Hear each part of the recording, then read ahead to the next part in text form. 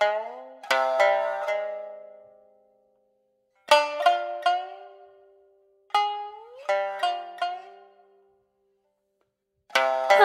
I'm Jennifer, and welcome back to the Krewe Japan Podcast, a weekly podcast where we take you on audio journeys through Japanese culture.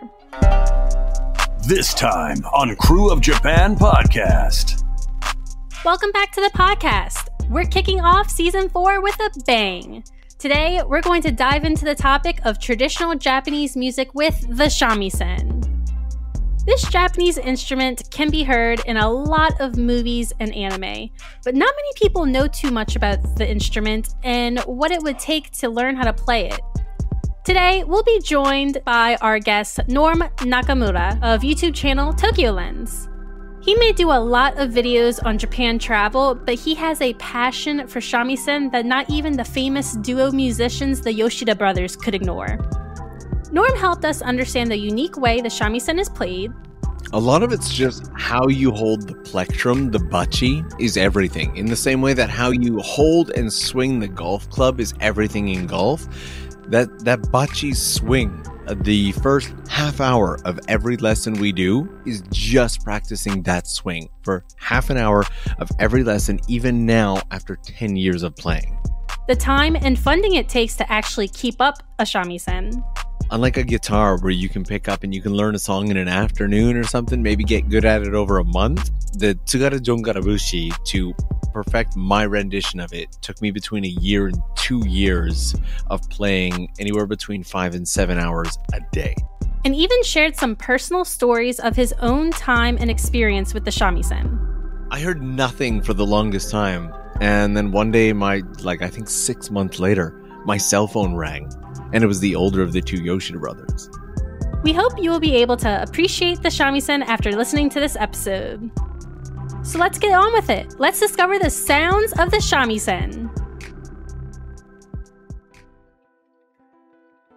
All right, and we are back with our podcast. And today we have someone who has a, variety of talents, and that we are thrilled to. It's been a I don't know how long this has been in the in the making, but it's been a while trying to get this episode up and running. Uh, but we are finally here. We are finally recording it, and we are so thrilled to have YouTuber and content creator Norm Nakamura, who you may also know as Tokyo Lens, joining us on the podcast. So Norm, oh, before I say Norm, welcome to the podcast. We also have Jen. Hey Jen. Doug, you always do that. I know, I'm sorry. but yes, the most important person is Norm right now. So Norm, thank you for joining us. We really appreciate it. So excited to be here. I it, it has been a while in the making. We've been talking about this for at least a year, and now here we all are. I'm really, really feeling lucky and excited to be here. Thank you so much. No, thank you. the best things are the things you have to wait for. Yes. So I You know. I hope that ends up being the case today. I, I want to say we had um uh, our one of our other episodes we did back in season two was with Dogen. I remember reaching out to him, and it was about six seven months before from initial contact to release. So it was uh, again another long burn, but it was totally worth it in the end. So I'll tell you Yeah. what, if we have time at the end, and if you remember, ask me about the hilarious Dogen story, and I will share it. I'll with you. remember. There's quite a story there. all right, that sounds good.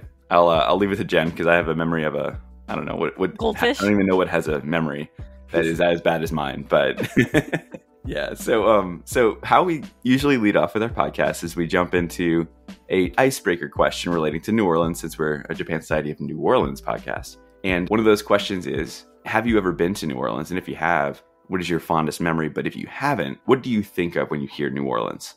I personally have never been to New Orleans. However, uh, my mother and father, both part of a volunteer organization, went down during a certain disaster, and there was they, they came back, and the, my I again never been there, don't know, but my image of New Orleans is just a place of amazing people and culture because my parents came back and would not stop talking about it. Like nonstop for probably the better part of a year. What a great place it was, and how you know, despite everything happening, the people were warm and friendly, and how it just it feels like a place with history and culture. And so I was still very young at the time. I think it was elementary school, maybe beginning of high school when all of that went down. So that to me truly is the only knowledge I really have that I could say connects me to New Orleans in some way. That's new. Uh, no one's ever mentioned our little disaster that we had. Which which one? I mean, let's be real. yeah, Which let's be real. We have tons of disasters over here. You're talking about the 2005 one, right? It Katrina. may 2005, have been the 2006. Yeah, I think it probably would have been around there. I may have been. It may have even. No, no, no. It may have even No? been earlier. I don't know. What was I- earlier than Katrina? Oh, it might have been Katrina. I. I 2005, 2006. I'm not gonna not gonna sugarcoat this. Sounds really recent, but when you stop and think about it, it's Yes. really not. So Almost been 20 Exactly. I'm gonna like you know it's not a visual podcast, so luckily people can't see how red I am right now. I just realized how long ago that was. I I digress. blending right into your sweatshirt. Which is also red. yeah, yeah. No, we we we've had our host of uh, hurricanes and natural disasters over here. So yeah, you have a handful, uh, more than a handful, to pick from there. But no, that's that's that's great. That's the first. I think that's our first guest that's had. It is. Usually everyone says that's come and volunteered. food. Everyone Yeah. says Mardi Gras. Everyone says Princess and the Frog. Yeah, jazz. That's Jazz, Like, yeah, jazz. jazz is the big one. nice. So, so uh, you know, when when you do come down to New Orleans in the future, maybe maybe later on this year, um, you gotta hit us up. Take you out to get some uh, beignets and coffee. Sounds fantastic. Count me in. All right. Well, to get started with the meat of the podcast, you know, something that we also start with is, you know, discovering what your journey was. You know, a lot of listeners, you know, may not be familiar with you, but um, are going to be familiar with you now. So, you know, what's your Japan journey? What led you to your interest in Japan and eventually living there? You know, give us your story. Bringing this all down to one short story that doesn't monopolize the entire podcast, just for the intro, always a little bit of a challenge, but I it's really difficult for me to pinpoint where my interest in Japan actually came from. Um some people are like, "Oh, I loved this." For me, I just I don't know. By the time I realized that I was like, "Oh, Japan seems like an interesting thing." In university, I connected with some Japanese students and I spent a lot of time with them basically living with them and ended up picking up some Japanese there. Lived in Japan for a year and at the end of that year I, I went back to Canada. And it was actually when I went back to Canada that a friend handed me a CD of two shamisen players called the Yoshida Brothers. I had never heard shamisen before. It's this three stringed Japanese instrument that some compared to a banjo, but the way it, it's it's like if ACDC played the banjo. like, Yeah. and that that was the Yoshida brothers, and just it was like hearing music for the first time. And I would honestly say that my real Japan journey started the day I received that CD, and everything changed from there. Wow, it's crazy how one little compact disc. I mean, I don't even know. Some of our listeners, if they're young, they don't even know what a CD is. Yeah, it's actually that that God, might we're be we're so old. yes. that yes, that yes. okay. Feeling great now. Feeling Yeah. absolutely. so that was kind of what brought me you know to the to forefront. And uh there's there's a whole second story of how i got into shamisen but i'm sure that'll come up later on in the podcast. But that is pretty much what brought me to the doorway of where i am now in japan. It kind of put you into you know line of action like okay you know this place was neat but now now i gotta know. Yep. Yep. that's awesome. So, my question then I mean, a lot of times when people get exposure in the US to Japanese music, it's at like Japanese festivals or, you know, some kind of like Japan Society or Japan American Society hosted event where they feature Japanese music. More likely than not, those events are usually featuring taiko drums. You know, that's the most, that's the biggest draw most of the time. As shamisen and, and, and koto and, and other things don't really get as much attention.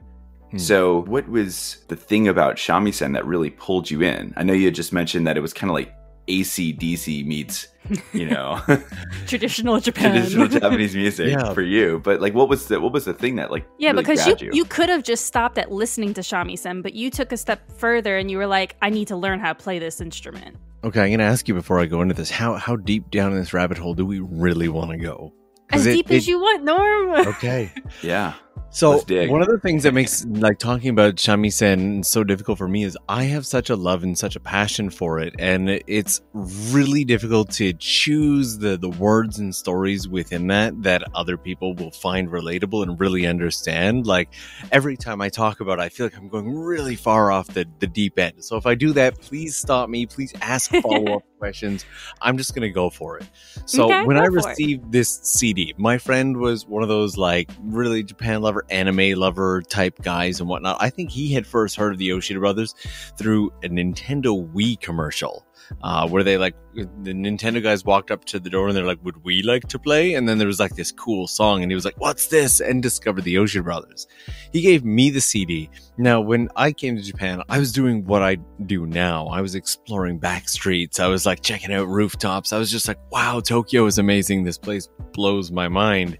And then I had really skipped over a lot of the culture outside of maybe festivals and whatnot.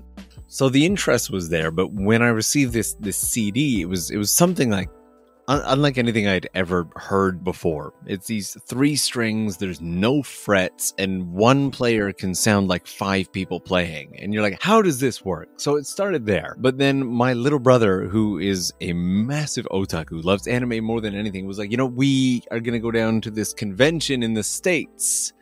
And we got down to the convention, and the Yoshida brothers were playing there and I happened to sit right in the front row and get to hear them play live. And I will tell you, for anybody who's ever listened to the recording of a shamisen, listened to the music, seen it on YouTube, whatever, it doesn't. Even, you're looking at three percent of what the shamisen really has to offer. The other ninety-seven percent are what you hear live. It is that different, and it just grabbed me. And so at the end of that concert, I was I walked up to the CD table and I was like, I'm gonna buy myself a CD. And like I was like, oh, I'll grab this one. Completely oblivious to the fact that there was a line going around the auditorium. And I had completely circumvented the line and just walked up to this table. But it just looked like they were selling CDs. And they're like, oh yeah, actually that this is the you, you just skipped the line, but whatever. The guys are coming out in a second anyway. I'm like, "Who- who? They're like the Yoshida brothers. I was like, well, whoa. And I'm like, I'm shell shocked in this moment because I'm, I've already fallen in love with it. Now I've heard it live. I've just Yeah. had my socks blown right off. And then they walk out in front of me and I'm like, can you sign this? And as they're signing it, I just get so inspired. I'm like, I think this is it. You know, we're all looking for that. What are we going to do? Right. And in this moment, I was like, I, I think this is it. And so I looked at them and I said something along the lines of, we will meet again at some point in Japan. I I will find some way for us to to work together to do something together. I look forward to meeting you again. And they, of course, this. Can you imagine? Can you imagine being in their shoes in that moment? Like, I oh, look yes, back yes, now, yeah. and I, yeah, exactly, exactly, right. I look back now, and I can only laugh at myself, and I do very often. But they, they, they did. They were like, uh, yeah, good, yeah, good luck with that. All right. And- sure. me being the person I am, I was like, okay, you, you have no idea. And so I then dedicated myself within a year of that moment. I was back in Japan. I had secured a visa, got back in Japan, and I spent the next two years of my life chasing any introduction that I could in order to become their apprentice. Because in Japan, you can't just like rock up to their production and be like, hey, Japan is a country where an existing relationship gives birth to a new relationship. You can't have an existing relationship from nothing. So I need an introduction. That's like this one steadfast thing that I had in my mind. I needed an introduction from somebody that they know and trust. And over two years, I found two or three different routes to that. One would have been far too direct, almost stalker esque. I had a friend who lived in the same building. He's like, "Oh, I'll pass them a note." I'm like, "Do you know them?" And he's like, "Well, we say hi to each other." I'm like, mm, "That just Not knowing. it doesn't feel it doesn't feel right." And then eventually, I built a relationship with this shamisen shop, who, once again, very long story short, gave me an introduction. Again, that's like a one year story. There was a whole lot inside of that. I think there are entire articles out there about it for anybody interested. But the first time that they asked the the Yoshida brothers, they basically came back with no. And I was like two years in at this point. I'd finally got like what I thought was going to be the introduction. And it was a no. And so I waited patiently and I went back and I asked again. I was like, I, I can't give up. Who, who gives up after one try, right? How bad did I really want it if I give up after one try? And of course, super prompt, super friendly, another steadfast no.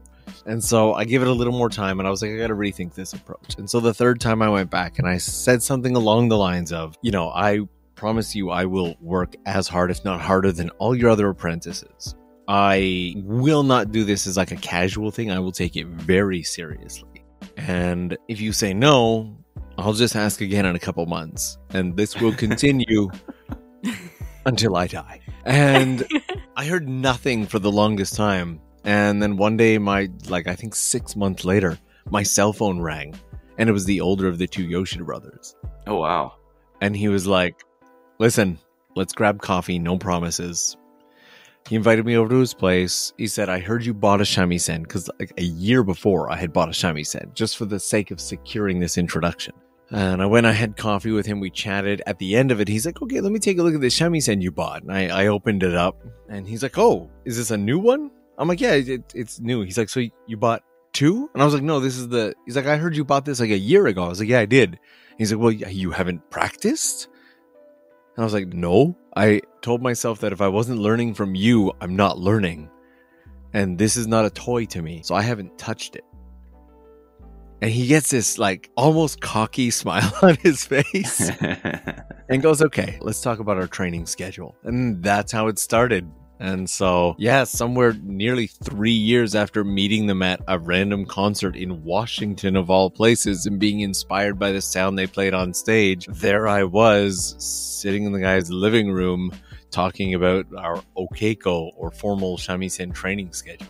so what happened? Do you think in that six months that made them like, all right, we're gonna give you a call? Do you The think threat, it was like? of course. You said he was was it the th- was it the them. threat, or was do you think like maybe the shop owner was wasn't maybe like threat. Putting thoughts in their head? One of the things that I prioritized during that time is the the shamisen shop that gave me the introduction. I just prioritized building the relationship with them, showing them gratitude. I lived in the name same neighborhood, so I would go by often and visit. In Japan, when you visit somebody, you often bring gifts, and so I would try to keep up those those traditional customs and whatnot. I just kind of build an actual, you know, in Japanese, there's tatemae and honne, where you know you have your your public facing mind and your like private mind and weave that delicate balance between the two as I build a genuine relationship with this shamisen shop, who to this day they're some of my closest friends. Like we Yeah. talk insanely often, and it is yeah i think the the time that i spent just prioritizing that relationship they probably gave him like another push a couple months in being like hey have you called him he's not a bad guy we swear he's not an axe murderer like i think it just takes time yeah So it wasn't your, it wasn't the other guy that was just like sliding notes under his door every day, like No, piecemeal, no. like little uh, newspaper article I was like, no, don't, do not approach. Like, don't wash day. stay away. And then I'm sure seeing that untouched shamisen really kind of sparked the okay. I, I think we got to do something for this guy. yeah. So, That's awesome. I think it showed them that I really was serious. Oh yeah, for sure. I mean, that's how I'd see it.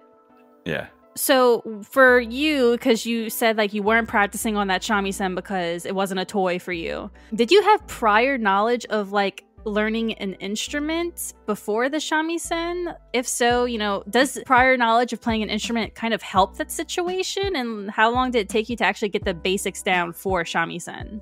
I think everybody who approaches shamisen is going to have it really differently. There are some people that shamisen is a, a toy to them. It's just an instrument that they pick up and play with and whatnot. The nuances aren't all that important to them and whatnot. But as soon as you dive into the deeper side of it, all of that becomes incredibly important. And so for me, this is just my answer, unique to myself, and I it doesn't represent anybody else. I went into this thinking that I had previous knowledge of instruments and that I would be doing great on this. I grew up playing guitar and string instruments and stuff like that. I was in the high school band. Like I Oh, so you, you, you thought you had you had it made. I got this. I got this. and honestly, as soon as I started playing shamisen, I realized that shamisen and guitar are about as different as knowing how to play guitar and repairing your car.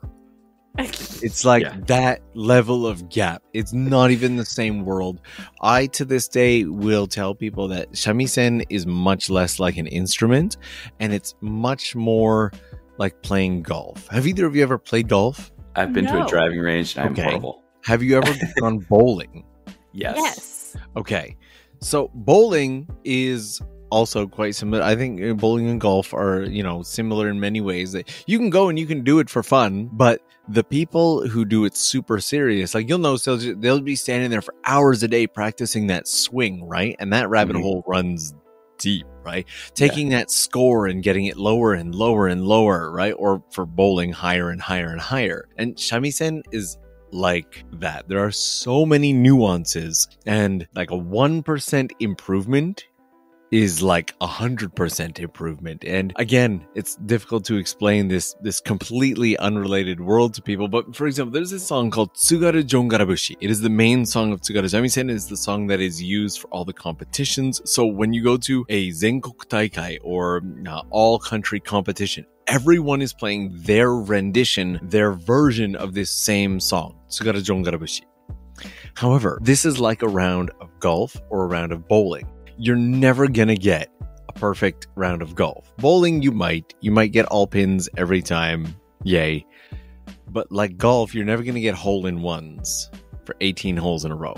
And this song is exactly like that. You're gonna mess up. You're gonna get tired. You're gonna slip up. You're gonna have areas that aren't played well. You're gonna have areas where the dynamics are totally off, or the bachi has slipped out of your hand, or something got muted that shouldn't have. It is so detailed and delicate that everyone is judged based on well, how badly did you mess that up? There's nobody who plays it so perfectly.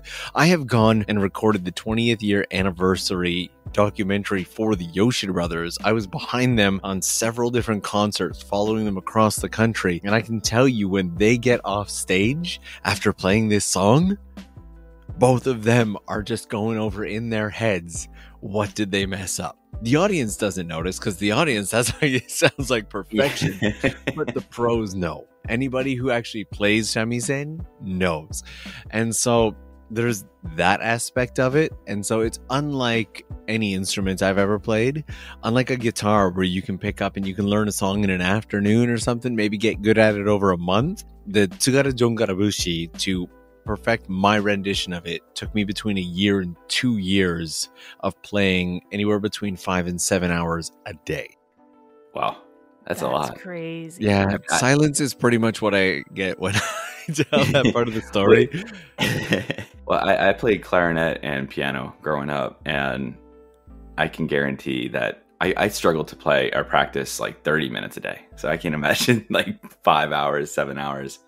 A lot of it's just how you hold the plectrum, the bachi is everything. In the same way that yeah. how you hold and swing the golf club is everything in golf. That that bachi swing, the first half hour of every lesson we do is just practicing that swing for half an hour of every lesson, even now after 10 years of playing. It's like muscle memory, right? And it's got to be perfect within a fraction of a millimeter. Yeah. So it's it's very very detailed. But again, there are many people who pick up a shamisen to to play it for fun, and they'll play like Kyary Pamyu Pamyu songs in the bathtub and stuff like that, and they have a great time with it, and it looks like they're having a blast. I've always gone for I want wanted what the Yoshida brothers really did is they learned the traditional all of the traditional and they learned it so well that they became these masters of it. And then you use that knowledge to turn it into this worldly new age thing. And it's because they had that strong base of knowledge that they did so well when they brought it to the world stage and mixed it with rock and everything like that. And so my goal was always to kind of follow in the same footsteps, but I'm not from Japan. I wasn't born and raised here with that music like they were. They've been playing since they were five years old. So I was always at a very much of a disadvantage and even spent the first three to five years of shamisen cutting out all other music and only listening to shamisen songs exclusively just so I could get a feel for it. Wow, that's that's incredible. Like you said, it's immersing yourself in that because the the sound is so unique. Like it's not like anything I've heard. You know, I've listened to a couple Yoshida Brothers songs. You hear it, it's just so different. It is. It's it's really cool. So I, I, I imagine like having to really, if you want to perfect that art, you got to really focus in and narrow mm-hmm. your scope of like what you need to focus on. So yeah. you had mentioned like bachi. Bachi is like the tool that you use to. It's kind of like your not it's not the thing that you use on the yeah, violin. It's, it's a plectrum, it's similar. basically. Yeah. Right, yeah. Okay. Are there any other tools that come with it that you need to use to effectively play a shamisen outside of that and the actual shamisen itself? There's a whole small slew of them, but the most common ones are in your right hand, your playing hand, you'll have the plectrum, the bachi. And then on your left hand, uh, or the hand that holds onto the neck, you'll have something called a yubisuri, which is like a small piece of cloth that allows your hand to slide along the neck okay. without uh, getting like stuck to the neck through sweat and everything. And uh, again, the, the neck of the shamisen is actually the most valuable piece, so you also want to protect it. I, again, whole rabbit hole of its own. oh, I bet, I bet. And are there like modifications to the shamisen where you have like in with the guitars, like you said, it's very different, but acoustic versus electric and things like that. Do they have those kind of modifications for shamisen at any, yeah. any way? Or, yeah. In uh, especially in recent years, there've been a lot of really nice electric shamisen that have been produced. Um, Japan being Japan, they really hold to the traditional. So there's yeah, a sure. quintessential shamisen sound that they believe a shamisen should sound like this. And of course, sound preferences varies from person to person. But there's this like this area here is what a shamisen should sound like.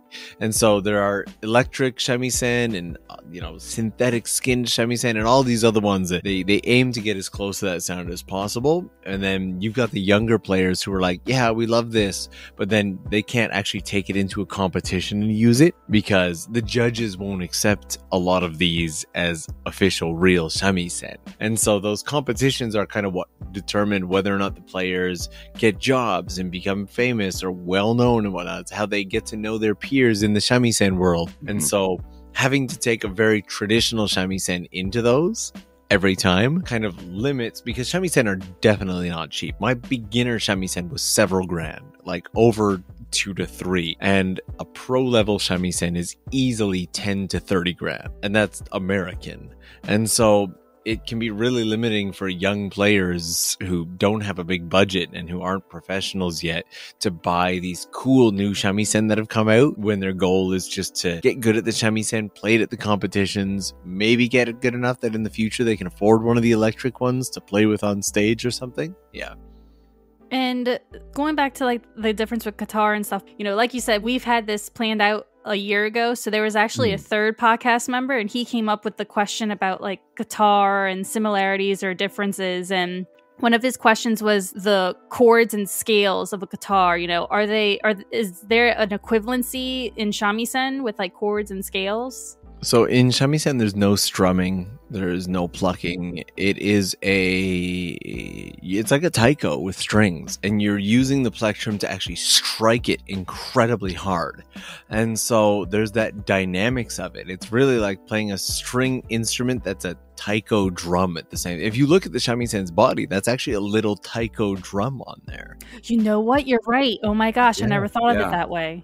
So there's not really any like chords. We don't really like hold them down and play like that. It's one note by one note more often than not. There are exceptions to that rule, obviously, but it's very, very different from guitar in every way that I can imagine in that aspect. Sorry, Nigel. Again, like you said, now that you say it looks like I know, little, now that like, he points it out, I'm like, oh my gosh, like, it is. It, it does. The way it's yeah, yeah. It's a percussive instrument. So when people are like, couldn't you just play it with a guitar pick? I'm like, yeah, you could. You could also play a guitar with a feather. Right. right. I mean, I mean, sure, you could try, but it's not going to produce the sound you want it to produce, mm-hmm. right? Exactly. Or what you, yeah. Yeah. Yeah. And I guess because the image of it, like what it looks like, it looks like one of those typical like stringed instruments that has a long neck, like a violin, a cello, a, a you know, a guitar, a bass, you know, something. It looks like that. Now, keeping in mind that I'm speaking specifically to Tsugaru shamisen. Right. So Tsugaru shamisen, just a basic, basic breakdown, the shamisen originally came into Japan via China into Okinawa, and it became a much smaller instrument called the sanshin. And the sanshin was like this really light and energetic dun, dun, dun, kind of music, and that then took on the actual shamisen shape and color that we know now, wood with the you know the little taiko style body, and became the Kyoto shamisen. And when you imagine that, you imagine the geisha who are sitting there playing the shamisen, dun dun dun dun dun dun dun kind of that type of thing. And from there, it became like a chuzao, like the a slightly larger neck shamisen, which went along with more singing and festivals and stuff like that. And from there, it made its way up into northern Japan, where well, into the Tsugaru region, where it is cold, where it is windy, and where the instrument became the biggest i guess the the the ultimate version of itself really it's the the powered up big beefy shamisen that's played super heavy and one of the goals is for the the players to sweat as they play. It's an instrument that and honestly that song again tsugaru jongarabushi one of the most difficult things about playing that song is the level of stamina required. If i take a break from that song for more than a week I'll be lucky if I can get 75% of the way through before my arms are burning in the same way that your legs would be burning for after a jog. yeah. It requires it requires some energy, and that was entirely by design because the Tsugaru shamisen, uh, each shamisen again has its own style, its own way of playing and whatnot, but everything that I'm saying is primarily for this Tsugaru style. You know, and we didn't really touch on it too much, but like that was one of our other questions too. And I'm glad you touched on it, like the difference between Tsugaru, because we had we had briefly mentioned we did an episode last season about Aomori, and that was one of the they have a lot of like Jen, what was it like restaurants where they have like you go Yes. and you eat and they have like music playing there. Have you ever been to one of those types of uh, restaurants? I know Yeah, in Tokyo you have, but Yeah. Oh, I did a road trip a couple of years back with some uh, creator friends, and we went to one in Oh, Aomori. And looking back at it now, I almost feel bad about it. But I asked the gentleman, I was like, "Oh, can I try holding that?" And he very nervously, like, "Oh, yes, be careful." I'm like, "How do you hold this this plectrum thing?" And then I like just started like busting it out. And he was like, "You, you." it was meant to be this playful little thing, and now when I think back about it, his reaction was great, but I feel I feel terrible. Well, because his initial thought was probably, "Oh no, this guy's gonna break my shamisen." Yeah, he's about to Almost guys smash certainly. your. Uh... You're like, Yeah, oh sorry. no, he's gonna play like a guitar. He's probably not listening, but if you are, I'm sorry, sir. We'll make sure we get it to him. Earlier, you know, you were talking about the cost of a shamisen Hmm. and how much it could cost, and so like younger folks that may want to learn, it could that could be like something that kind of makes them wait a little bit longer, if not stops the whole learning process. But like, how much does it take for someone who, wanting to learn shamisen to commit? Like the time commitment, the instrument upkeep. Can you kind of talk about that? I know you do on your channel, so sorry Hmm. that you're gonna have to repeat. The simplest way to put it is it depends on how deep you want to go. If you get like a, a cheap shamisen esque item, then you can just like set it there and play it when you want. It's not going to be a shamisen. There are ones like that um, that. So for the past two years, I've been working with two shamisen players. Okay, for 10 years, I've been working with these two shamisen players named Kiki. They are Japan's champions. They have taken top prizes at almost every competition across Japan. They're two of the best known players in Japan outside of the Yoshida brothers. And we've traveled the world together. We've done Canada, America, Pichan's Germany, we've done Australia, Italy, you name it. We've been all over the place.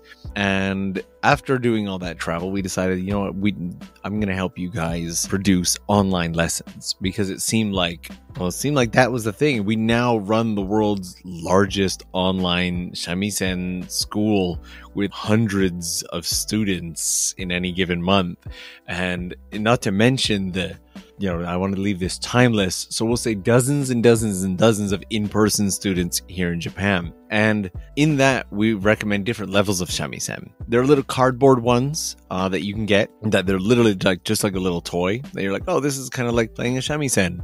And then there's like these medium ones called shabo.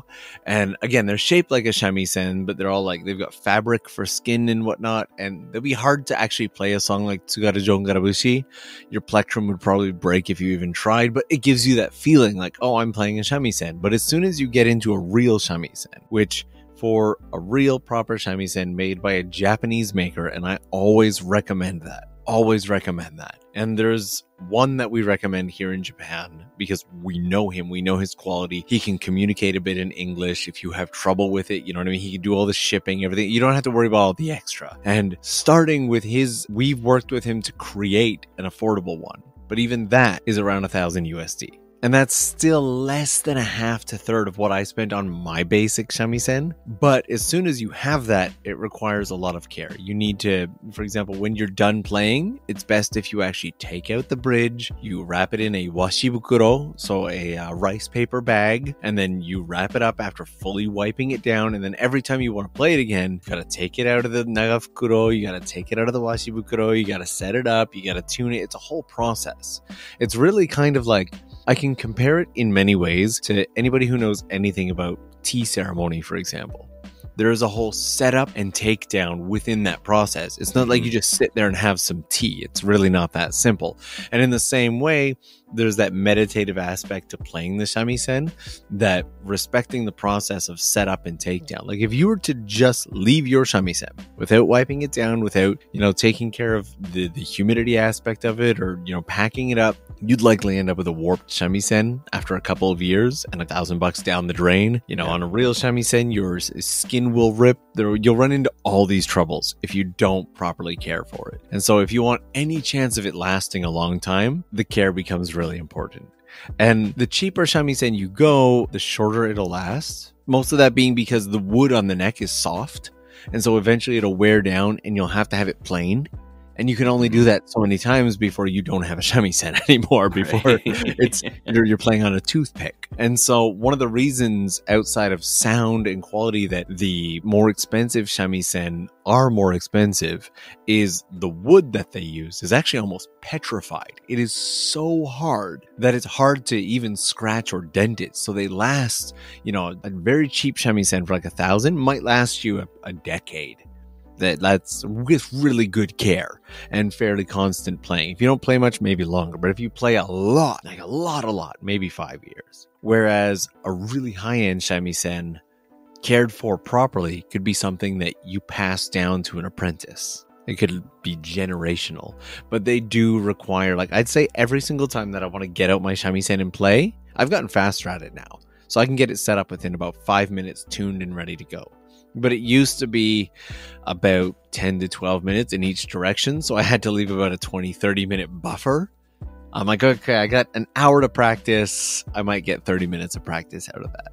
So, and that's if you're taking care of it right. But unfortunately, way too many will, people will just leave their shamisen there and then two years later, they're like, it's starting to sound weird. And they don't realize it because they haven't cared for it. It's ever so slightly started to warp or something's gone loose or something like that. Yeah. Simply because that minute, they're very sensitive instruments, is I guess what I'm saying. There's the, the short version. Well, okay. So, such a sensitive instrument, you know, if something on the shamisen, like a part from it or any kind of section of the shamisen, if something goes wrong with it, are you able to like replace that part or you have to get a whole new shamisen? It depends on at what level something's gone wrong, and it okay. depends on how attached you are to the original sound of your shamisen. So, for example, if the the neck starts to wear down because you have a shamisen in saw with soft wood, and then you get that neck planed out so it's fresh, it will not sound like the same shamisen anymore because the majority of the sound doesn't actually come from the body, it comes from the resonance through the neck. And so you've changed the neck, it'll no longer sound the same. It's that simple. And so if you accidentally like snap the top piece off and it needs to be reattached or something, they can reattach it, but you've now impacted the resonance of that wood and it'll never sound the same again because it doesn't have, it's not that one piece anymore. And so it depends on what breaks at what level and how attached you are to the sound. Plenty of people repair their shamisen all the time. However, when you get into people who have had, for example, a custom shamisen built for them and they're very attached to the sound it has, those people will do everything in their power to take the utmost care of their shamisen. I keep this room here, which stores my shamisen, at a very steady 40% humidity. That is the ideal humidity level for shamisen. I have meters all over the place that let me know uh, no matter how humid it gets in the summer or how moist or dry in the winter, I try to keep it between that 30 and 50, aiming for 40% at all times, just so that I don't ever have to worry about anything going wrong with it. But also, you can't take a long break from it either because it's all natural materials. So if you stop playing it, it's actually the vibration that keeps the shamisen alive. So the shamisen shop that I built my bond with, they're like, if you really care about your shamisen, play it every day. Even if it's five minutes, play it every day. If you don't play it every day, it'll get neglected and it'll show you that it's neglected. And they are not wrong. Wow.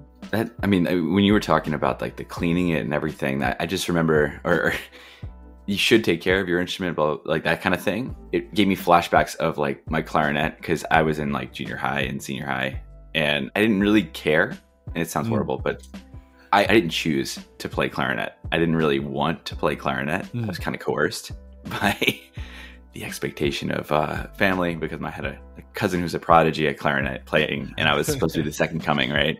and that was what they envisioned and what the band director envisioned and the pressure of that made me not want to do it as much anymore because it wasn't something i wanted to do Mhm. so i didn't really take great, great care and i just remember like if you don't clean and take care especially clarinet, you're blowing into it if you don't clean that out it Yep. can get ugh, yeah and get nasty so i know exactly what you're talking about when it comes to like cleaning your instrument and maintaining it because it, especially with those clarinets when you're blowing into it like that airflow if there's something the Yep. accumulation of moisture in there over time in a dark space I think anybody who's played any kind of like brass or woodwind is like cringing like crazy, right? I did a little I bit of know, I'm trombone cringing. in high school, I'm and I know exactly what you're talking about. And the number of times that I'd open up that valve just to drain it, and be yeah yeah. So I'm I'm right there with you. Yeah. yeah Gross. so so you, you briefly mentioned earlier that you've traveled all over the world with kiki to Hmm. Was, was it, it was for events like cultural events or performances? Yeah, usually we were called out to do uh, festivals and musical performances, live shows, uh, stage talks, seminars, you name it, all around the world. do they have like competitions around the world too Is, or are those primarily only in japan There is a world competition based in Japan in Hirosaki each year in the spring. okay cool Norm, I know for a fact that you've actually played in a competition before up in Mo- oh Mori, I believe. Mhm. When you were performing, because I know you could only film a little bit of it for the YouTube channel. Could you tell like different players like how long they probably played? Oh yeah.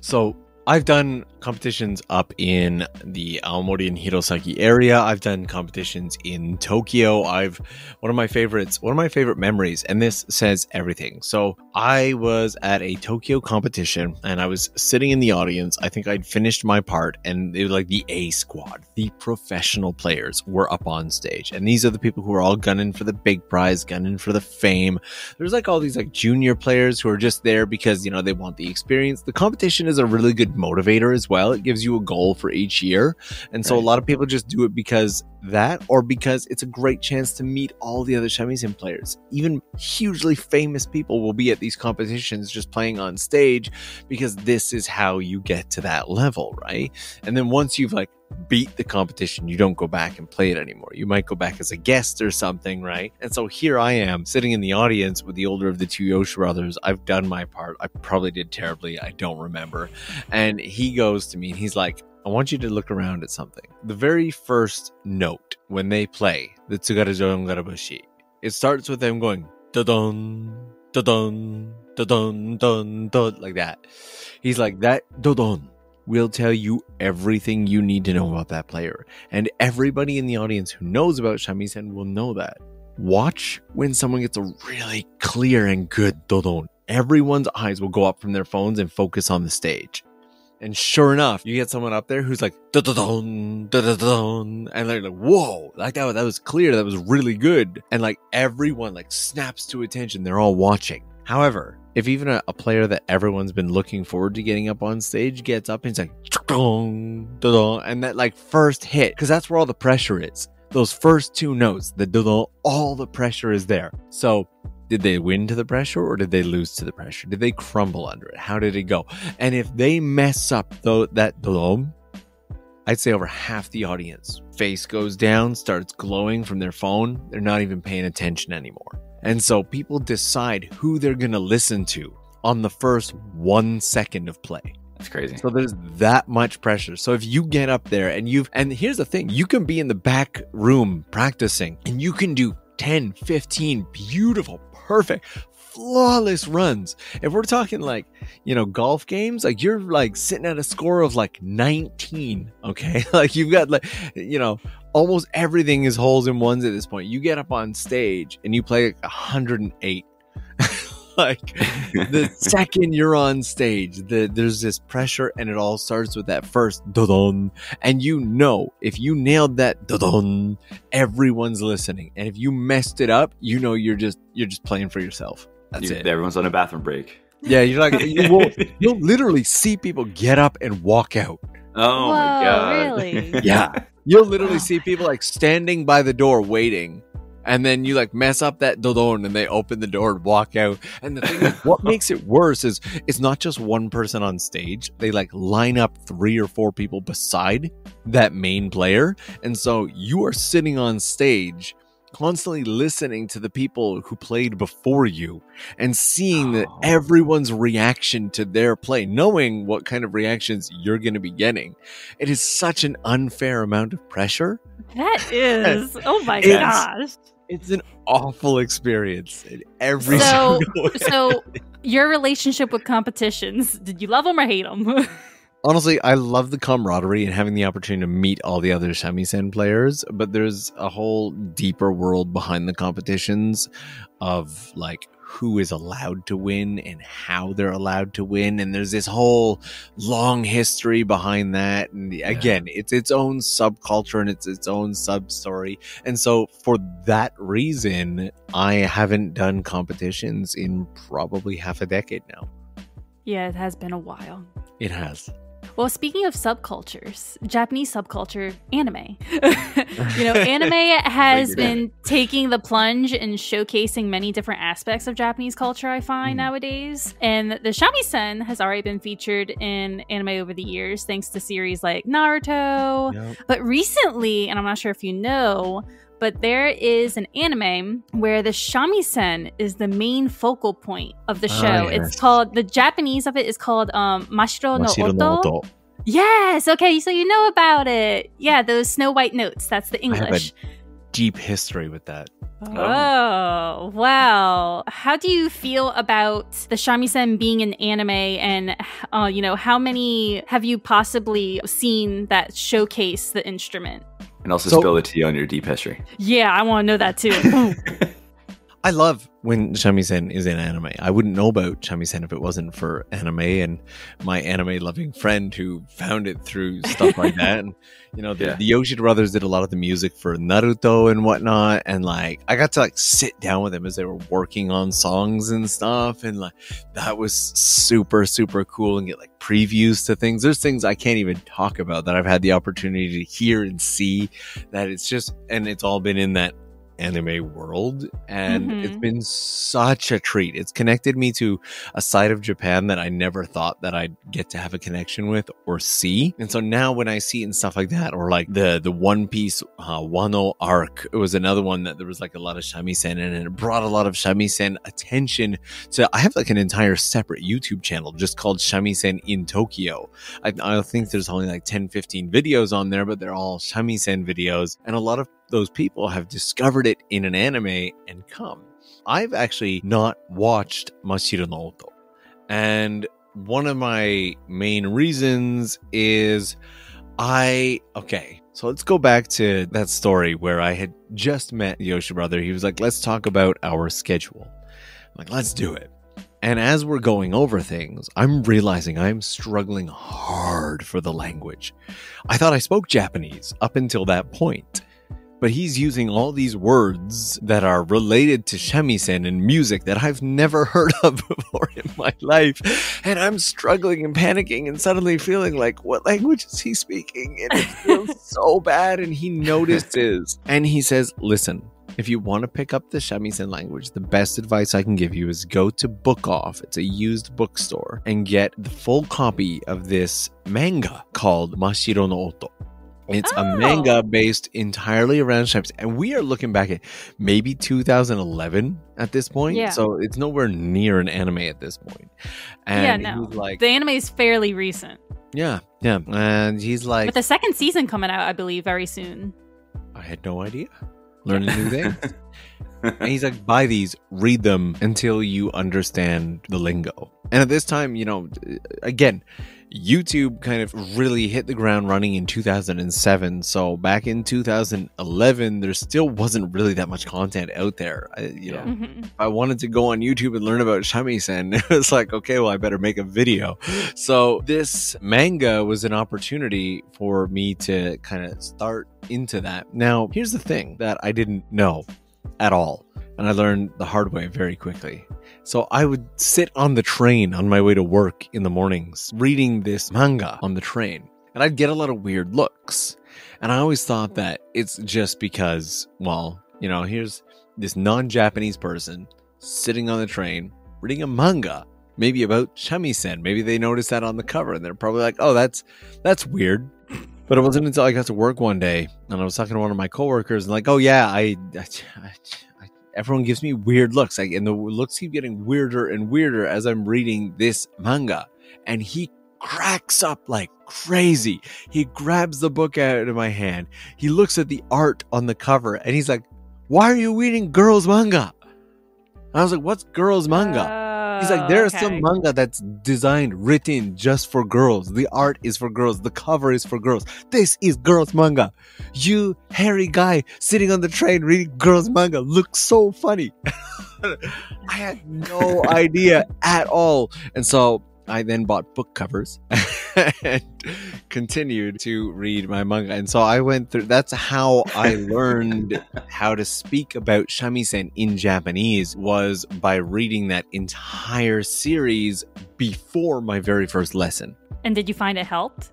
Oh, it helped a lot a lot because every time a word came up that I didn't know, I would either learn it through context or look it up. And just the mm-hmm. opportunity mm-hmm. to look it up then became this rabbit hole that I would go down. I would learn entirely new things about shamisen. So I went from like 0.5% knowledge to like 15% knowledge in like two weeks, and it was fantastic. Look at that. Wow. That reminds me, like, I, I have you ever read a manga called Eyeshield 21? It's like an American football manga. No. By Shonen Jump it was like one of those things where I'm I'm a big football fan, and I got when I was on Jet and I was living over there, I had um I was like i want to read something in Japanese, like I need to like learn something. I'm like might as well just pick something I like, and so I picked that up, and like you said, just so many words that you don't see in like your your JLPT like study yep. guides or in like all these other things, but it's like the context of it too, because like you're talking about offense, defense, all that stuff. Anyway, that, those give me like flashbacks of that because it's so true though. If you find those like little niches, even if it's not shamisen, I'm sure there's some manga or some medium out there or like that is solely dedicated to that topic, and you could oh, use oh, yeah. that as a way of learning the vocabulary and the lingo, so that way you can immerse yourself a little bit more in that subculture.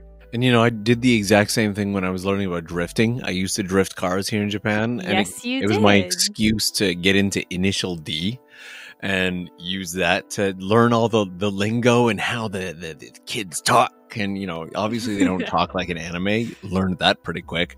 But I'm now doing the exact same thing. Like I'm doing pilot training here in Japan, which happens all in Japanese, which is daunting, overwhelming, and has made me nearly break into tears more than once. But oh. the greatest now this for this one, there's no like great manga and stuff for that, but the number of blogs out there from like oh. young pilots in Japan who are like writing about their experience, writing about different techniques and aircrafts and everything like that. And hello, 2023 three. Thank you. If there's words I don't know, I can literally just highlight it and click translate and boom, instant Yeah. information, right? So it's much easier than back in the day when I actually had to carry around one of these little denshi jisho, like Oh, yeah. electronic dictionary things and figure out the radicals for the kanji. And I'm so glad those days are over. But I yeah, know that. The jeez. there's always something out there. Yeah. Did you ever bring your Denshi Jisho out to like go out to a bar or something, or did you only do it when you were like working and or studying or whatever? I I tried to always keep it at home, but when I was do I have it here? I might have it here. Somewhere around me right now. I don't want to I don't want to knock the microphone. I have this little red dictionary that I received from a high school teacher in one of my last years of high school. And he was like, this is my like Japanese English dictionary from the time that I lived in Japan. If you learn hiragana in the next month, you can keep it. And that's how I originally learned hiragana. There was just this weird challenge from a high school teacher who was like, You seem really bored in class, do this. And so I was like, I want this dictionary. You know what I mean? It's like the neatest thing I've ever seen. I think it was one of the first time I'd ever seen like a dictionary with like Japanese characters and stuff in it. I was like, I have no idea what I'd use this for, but I freaking want it. And so I used the hiragana chart in there. And so that's actually what I carried with me everywhere in my first Wow. year in Japan. It was always in my pocket. Yeah, that's that's awesome. Yeah, because like I had to do that. Like I picked up a Denshi show because when I first came to study abroad, and I was I, I was confident going into Japan. Then I got off the plane, and then I was like, oh, never mind. I don't know anything. Yeah, I remember when I was studying abroad, Doug, I debated to buy one, but I was like, you know what? I'm gonna just suffer because I can't afford it. It was it was a great investment. That's relatable. I'm sure it was, but I was like, but poor college student me who could barely even afford like to even go and study abroad. I was like, I cannot spend money on this. So I decided to just suffer. Real quick, I know we're encroaching on an hour here. Yeah, no worries. Take your time. We don't want to keep you too much longer. I know it's getting kind of late over there, and we can come back to that Dogen story in a second. We didn't Good. forget. I was about to about to do it. but we're gonna we're gonna put a little nice little bow on the uh, shamisen conversation and ask you like what advice do you have for someone who's looking to get into shamisen? Uh, wants to learn it maybe discouraged or maybe they are currently learning it. Um, you had mentioned the online lessons that kiki does. Mm. what type of advice would you give someone who is maybe learning or thinking about learning and you know if they are learning now struggling? So this may come off as an obviously very biased answer, but as somebody who's worked with Kiki for 10 years, I would definitely say those lessons because one of the biggest hurdles for me when I got into shamisen was knowing where to start, the costs, and then what do I do to not destroy my shamisen? Where, like, how do I start playing? What's right? What's wrong? You know, there is a bunch of information out there, right? But a lot of the information out there is a very, very mixed bag. There's blogs out there of people who have tried it. There's YouTube videos of guys like me. There's, you know, entire other like communities out there who are like teaching shamisen stuff and whatnot. Every single one of these is a different approach. And if you mix approaches, you're going to end up with this smorgasbord of absolutely nothing that's consistent or overlaps. Shamisen has a whole bunch of different approaches and styles. So finding one approach, one style that's consistent that you can follow will greatly reduce your stress. And I wish I've got very lucky in meeting the Yoshida brothers and learning that firsthand. And so my very, very biased answer is reduce your stress and find one place that you can learn from. And that's where, that's why I have worked so hard to help Kiki develop their like learn shamisen online lessons because their entire goal is how do we get a shamisen into the hands of somebody who only has $90? How do we get a shamisen into the hands of somebody who might want to try it out for a couple months but isn't sure? How do we uh, get a shamisen that would be $2,000 down to $1,000 so we can get it overseas and somebody can actually enjoy it, right?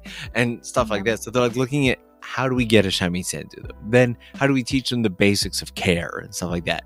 And then how do we teach them the, the really traditional stuff or original songs or Ghibli songs? And they try to make it this one thing for everybody, but it's all under one consistent style done by people who actually care. And that is huge. They spent, I don't even know if I'm allowed to talk about this. So, Kiki, if I'm not allowed to talk about this and I'm just blowing the lid off things, I apologize. Just come after me about it later. That's cool. They spent an ungodly amount of time, I think about a year, year and a half, and an equally ungodly amount of money traveling back and forth all over the country meeting shamisen makers with, with no sponsor, everything on their own dime, just so that they could actually get shamisen that would be good enough. And there were all these like companies were like, oh yeah, use our this shamisen, da, da, da, and Kiki would like test it out for a while, and it would break, or it would be really bad, or the the guy wouldn't be able to ship overseas, or have really like harsh communication. And they were super super strict. They're like, no, we want somebody that we can trust, who's going to actually send stuff, who actually cares, who can communicate in English, reduce the stress, make this a good experience for anybody who takes the risk of trying. Because that's the thing. If you try and all of a sudden it becomes overwhelming, it's way too hard, or it's way more expensive than you thought, or there are not enough resources, or there's too much information from too many directions, all of these things are points that can discourage you and stop you from wanting to continue. The continuation path is the path of least resistance. It's a path that follows some form of logical flow, the path of being surrounded by like minded people and care and having a community and all of that. And they have put years into trying to develop that. And I've got to, I've got to kind of be a part of that. So I'm biased. I've witnessed the everything that they've done. Like they could easily be like, oh, you know, a base shamisen's about two thousand dollars. We could probably sell these for like sixteen hundred and then make like 600 off of each shamisen or something. But they were like, no, we don't need the money off of it. We just need to get it into people's hands as soon as possible. So they're like not even trying to profit off of it. And just the way that it's beautiful to watch. They, as somebody who loves shamisen, watching other people who love shamisen try to infect other people with their love of shamisen is really fun and inspiring. And it's the same reason why I've always followed those two with a camera everywhere I go and why I've tried to take them overseas and everything like that. Just because, you know, Shamisen's provided so much to my life. It's literally built my life. It's changed my life completely. And not everybody is going to have the time or free mental space to spend a year or two of their life chasing someone to teach them. And so if we can provide like a spark that lights the fire for even one or two people, they're like, oh my God, I absolutely love this. This is the thing that took my stress away during the pandemic. This is the thing that gives me a little more me time. This is the thing that connected me a little more to Japan. If I can get even just a couple more people in any way, to fall in love? Absolutely. And honestly, whether it's through Kiki or whether you happen to, you know, find a local shamisen teacher or something who you can learn from that person, just pick one thing and stay consistently with it for long enough that you can learn about it deeply. And I promise it'll change your life in some way. That is my overly long answer to that. See, you no, can't that's... get me started on this shamisen stuff. I will not stop. I think I like but that's good because that's why out of all the people that you know we could have interviewed about shamisen, I chose you because I know how passionate you are, Norm, about shamisen, and I knew that you were the right guy to talk about shamisen with. So no, thank you for sharing, yeah. you know, your experiences and your ideas with us. Um, I'm sure our listeners are going to really enjoy, you know, learning about shamisen through you and your experience. And maybe maybe even spark that interest, you know, yes. hearing this, exposing like, them to it. Maybe like, oh, let me go check out this this Kiki like online lesson thing. You know, I may have, check it out even if they don't do that, like for example, I have this entire playlist. I wouldn't recommend learning much from me because mine is all just my experiences and my bias and my approach, and that's uh, that's just one person who's not Japanese. But if you want to get like a starting point and learn about the shamisen, like I've got a whole playlist, a shamisen playlist on the Tokyo Lens channel. And even if they were to jump in, for example, for like one month of lessons with the the learn shamisen stuff and just learn the basics. There's everything there of like how, what it takes to take care of your shamisen, how to pack it, how to unpack it, how to take it apart, put it together, how to tune it, how to care for it, how to repair it. All of that is in there and they're all like short two to five minute videos for those. So they could watch that and go, oh my God, this looks like so much fun. Or they could be like, this looks like a nightmare, never mind, right?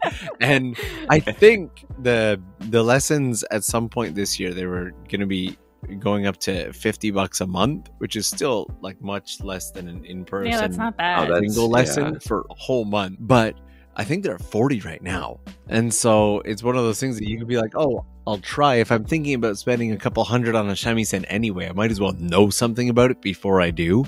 You know, kind of dip your toes in before you're like, how cold is this water? You don't just jump in, right? I don't know. Some people jump into that cold water. They do. I was one of them. So, speaking from experience, yeah. Well, that was the last of our Shamisen questions, but that Dogen story that you want us to bring back. Okay, let me get all comfortable. Sit cross-legged here. Okay, I'm gonna try not to bang around the microphone too much. Okay, so um, it's kind of funny because Dogen and I both used to do this thing called extreme martial arts. oh Uh, yeah, he talked about yeah, it. he talked us. about it on our podcast. And we were in Beppu. He recently built a, a new house, and it's absolutely beautiful. And It's He asked me to come out like once every couple months to make a documentary of his new house. You're welcome, Dogen. it was a really great experience. I actually feel I've never seen a house in Japan built from zero at that level, so cherished experience. And we had a lot of like fun talks along the way. And Dogen and I were sitting down and we were talking about our like old uh, martial arts experience. And I was like, you may not remember this, but we actually knew each other from forums from many, many years ago. See, he used to do this thing called Dogen tricks where he would teach yes. uh, how to do all this stuff. And I ran an extreme martial arts team where we did performances and tricks and everything like that. And we would always watch his videos. And so we'd interacted online a billion years ago. I was like, then we got into stories of our first trips to Japan. And I was like, you know, my first trip to Japan, I think I, my first like year living in Japan was 07 and my first trip was 05 first year living here was 07 and i was at this gym out in the middle of nowhere in an area of tokyo i'd never been to like Gakugei Daigaku or something. And it was super far from the station too. And we went to this sports center and in the basement there was like the gymnastics room and i remember going in there and i'm telling dogen the story about this guy that i met and i was like i got in there and there was like this guy in there and he was also like a North American guy. So you, all of a sudden, I'm in my first month or two in Japan. I get into this gym in the middle of nowhere, and there's there's another like Westerner in there. Oh my goodness, someone who can speak English. Yeah, I'm overzealously excited. I'm trying to talk to this guy, but I think we've all had that experience when you try to talk to another non-Japanese person in Japan, and they're just kind of not having it. Yeah. Like they're not as excited as you. And when you're new in Japan, you're the most excited. You're like, oh, Yes. you too, right? Right. Like, that eventually where and you're just like, oh, everyone's just people. You get to that point, right? But in your first month, you're like, oh my Yeah. god. And so I was still very much in that mode. And I'm telling Dogen about this story about this guy and how he's just not having it. He had no interest in talking to me. And like, I'm like, yeah, like I, I'm pretty sure like I knew this guy from something or something. I'm like, I'm trying to make a good impression. You know what I mean? And so I'm trying to speak lots of Japanese to the other guys around me. You know what I mean? So I can show, hey, hey, I'm a, I'm a respectful, you know, non-Japanese person, right? And like, I'm trying to like bring him into it and whatnot, but he shut me out cold and hard the entire time. As I'm telling Dogen this story, he's literally just scrolling through his phone. I'm like, could you be more disinterested? Like, I'm like, geez, man, I'm telling a story here. And he looks up and he goes, Is this a photo of you? and it's that gym on that day. A photo was the guy. Was that me. guy that was Dogen ignoring was you. that guy. And Dogen tells his version of the story where he was new in Japan. He couldn't speak Japanese yet. And this guy comes in with all these, what I didn't know at the time were big uh, martial artists in Japan.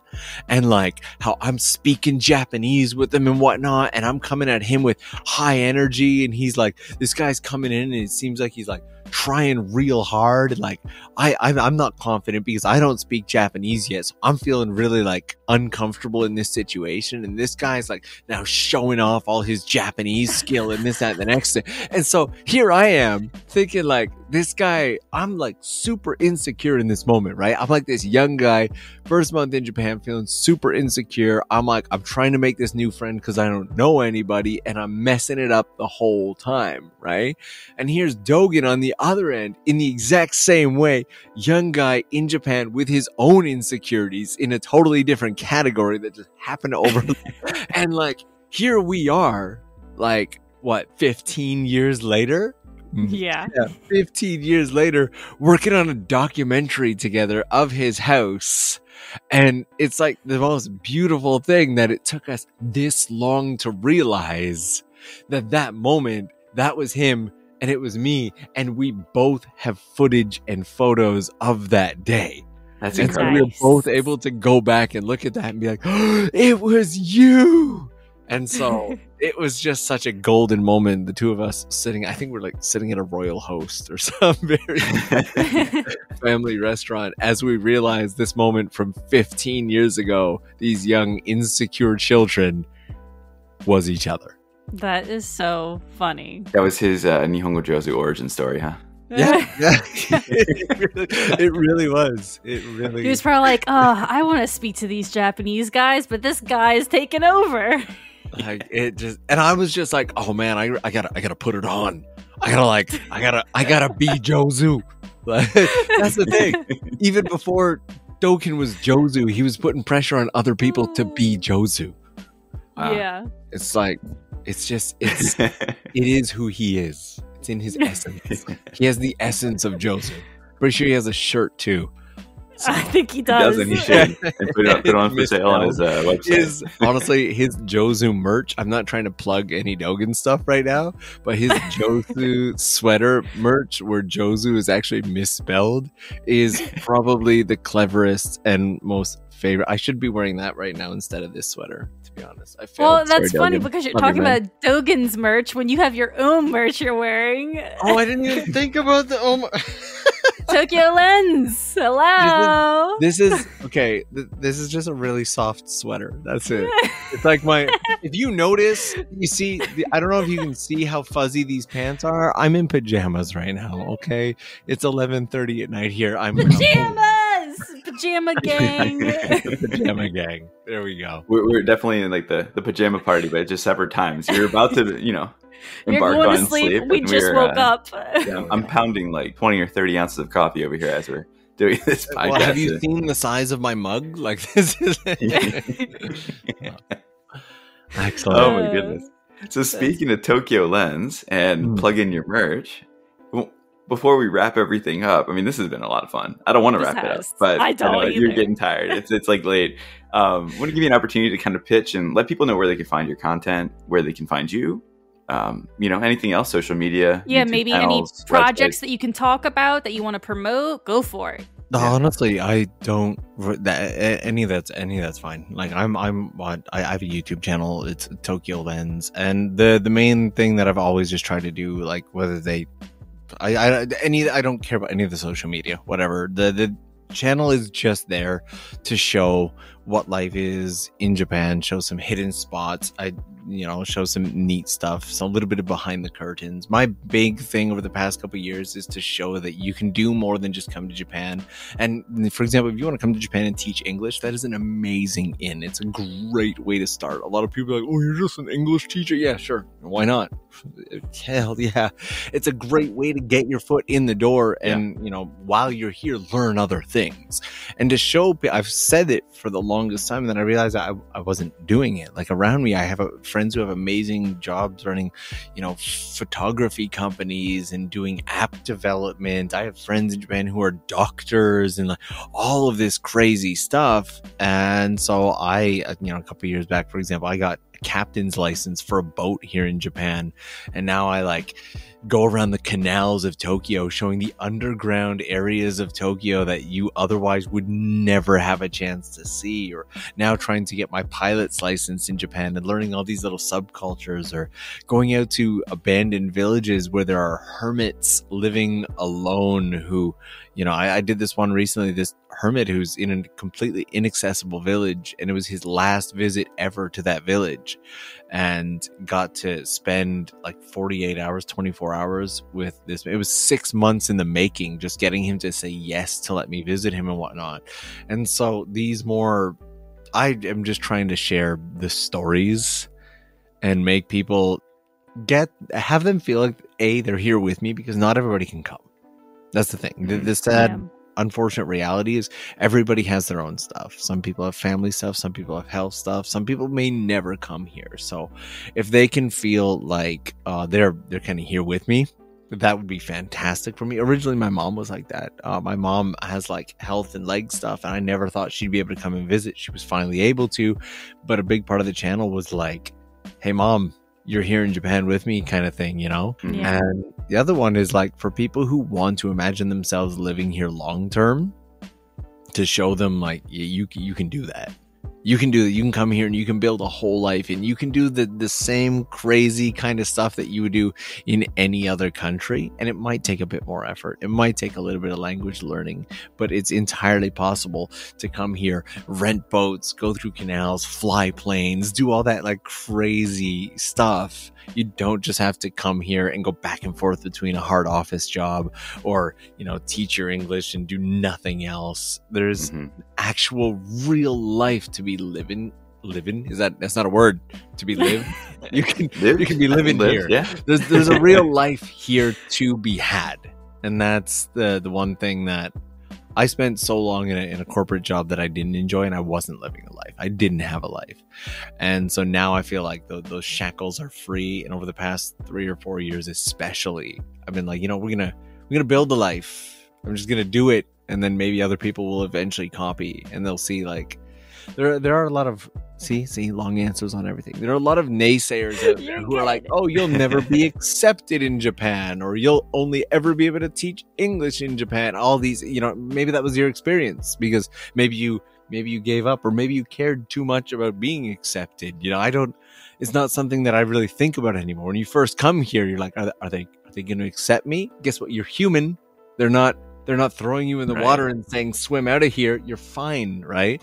And so uh, showing just like when you get into the depths of thing, like for example with the, the boat licensing stuff and the, the plane stuff and like when you get into the stuff that's behind the curtain people are so happy to have you there they're like oh my god you're here thank you thank you for being here you know and they love interacting with you and that's the japan i want to show And you do, honestly. I've been watching your channel ever since you started your channel. Oh Lord, Um, i'm so sorry the initial stuff was so bad No, it was fine. It was great. And, you know, I will say to our listeners if you have not checked out Norm's channel, Tokyo Lens, if you want to find something, I bet you a million dollars Norm has a video about it. yeah. Well, you, You've do a lot of everything. the live streams too. I've, I've caught a few of your live streams where you kind of are walking through towns and areas and stuff. Yeah. I think it's really cool. Those are fun too. Yeah. That was just born from I actually just kind of did those a lot on my like I love walking. Like Yeah. ever since I think we said it early on in this podcast episode, I used to just my first year I just came to walk around Tokyo. I love exploring. It's like you can walk the same area a hundred times and still find a little tiny street or like rooftop that you've never noticed before. And when everybody's stuck at home during the pandemic, I literally started a second channel, Tokyo Lens Explore, just for that just for walking around and exploring since I do it anyway. Now I get to bring people with me. So Yeah. that's fun. No, it's it's great. It's a great way to learn and see things about not just like Tokyo, but other areas of the country that people may otherwise not explore, right? Yeah. So awesome. Well, that's pretty much it. We'll we'll link to your YouTube channel channels and uh, anything else um, that you have to say, or any no upcoming projects that you have coming up that you're excited to, no, or are they all top secret? I honestly, I've, I've already, I've I'm working on six videos that have already been shot for this year, uh, and Yeah. I have another eleven uh, planned, and like in the the communication process.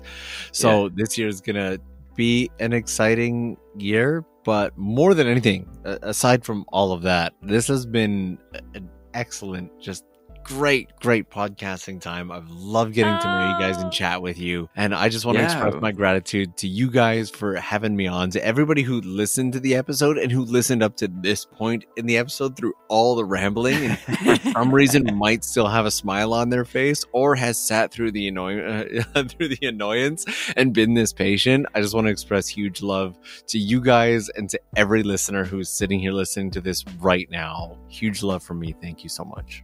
Oh no, thank you, Norm. We Yeah. we really enjoyed talking with you. Like Doug said, uh, I kind of wish this episode doesn't have to end. It's probably going to be one of my favorites of the season. I know, this appreciate is- this that. is a, a blast, and we thank you again for getting back to us and working with us. And I can't wait till I get to edit. We were talking about editing earlier before we started recording because I get to relive everything.